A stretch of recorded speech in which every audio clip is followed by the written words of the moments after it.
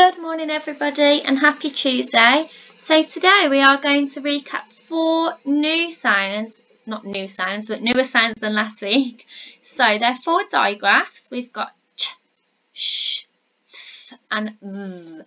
Now we are going to talk about why this one is in bold in a minute, but we are going to be thinking about recognising them, reading them in words and writing them in words. So Rex says hello again. If you haven't already, you do need to go through the video called Are You Ready or the PowerPoint and make sure that you're only saying the pure sound. So we're not saying g, we're saying g. We're not saying b, we're saying b. I know that's hard because we're all from Birmingham, but we have to make sure that we sound it out properly. Otherwise, when we come to reading, we're not going to be able to blend the word that we need to read properly because it won't sound correct. Okay, so let's have a look. This week we are practicing some sounds that we've already learnt before. So we've got ch, sh, and th.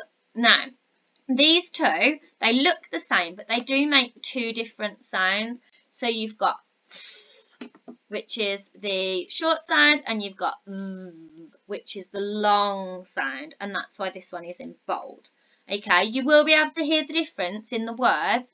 Now, if you don't know whether when you're sounding out a word, whether it is th or th, you can try both and see which one sounds better. Okay, so can you spot the sound in this word? We're not going to read these words yet. I just want you to spot the sound. What sound do you think we're looking at in this word? I'll give you a clue. It's highlighted in red. Yes, well done. It is ch. Good job. Okay, what about the sound in this word? Yep, super, it's sh. The sound in this word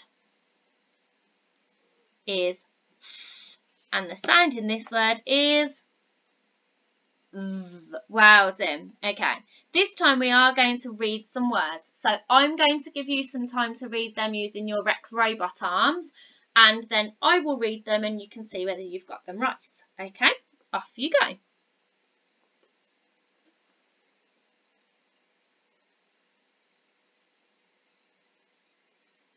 Okay, my turn.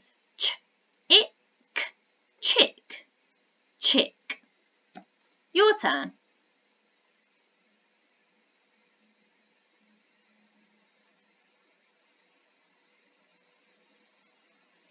And my turn. Sh, it, ship ship. Your turn.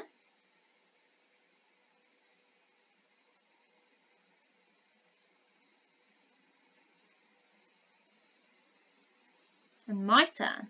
But at bath, bath. Your turn.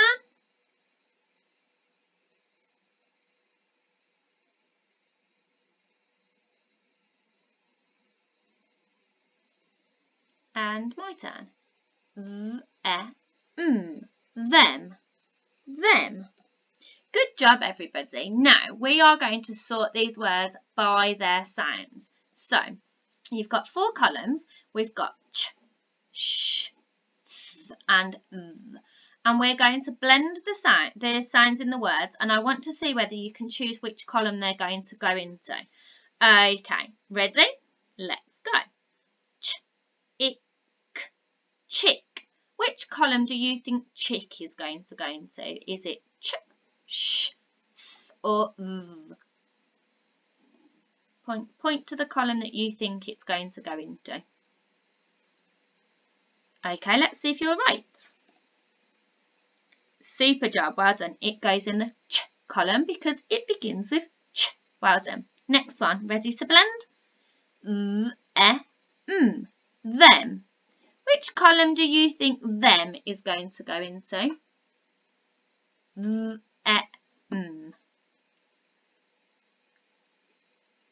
Okay, let's see if you're right. Super job, well done. Right, the next one, let's get ready to blend. But, a, bath, bath.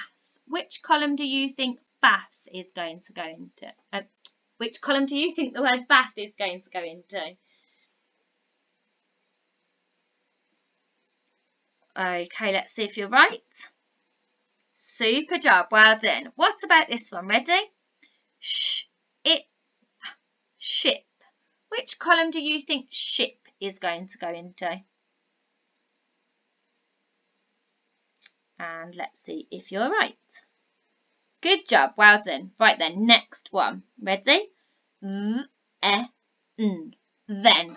Which column do you think then is going to go into? Let's see if you're right. Good job. Okay, next one. Ready? Ch, up, chop. Which column do you think chop is going to go into?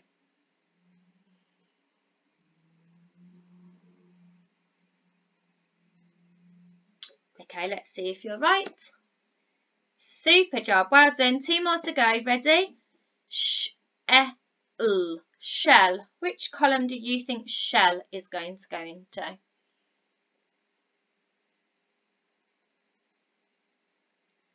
Okay, let's see if you're right. And the last one, m, a, f, moth. Which column do you think moth is going to go into? It's a bit obvious this one, isn't it? Okay, of course it goes in the column. Well done. So we've got chick, chop. Both have the ch sound. We've got ship and shell. They both have the sh sound. We've got bath and moth. They both have the th sound. And we've got them and then. And they both have the th sound. Good job, everybody. Well done. What fabulous reading. Now, I wonder whether you can tell me what sound that we've been recapping do you think this word has? Does it have ch? Does it have sh? Does it have f? Or does it have v? Let's sound it out, shall we? Ready? Sh, up, shop, shop.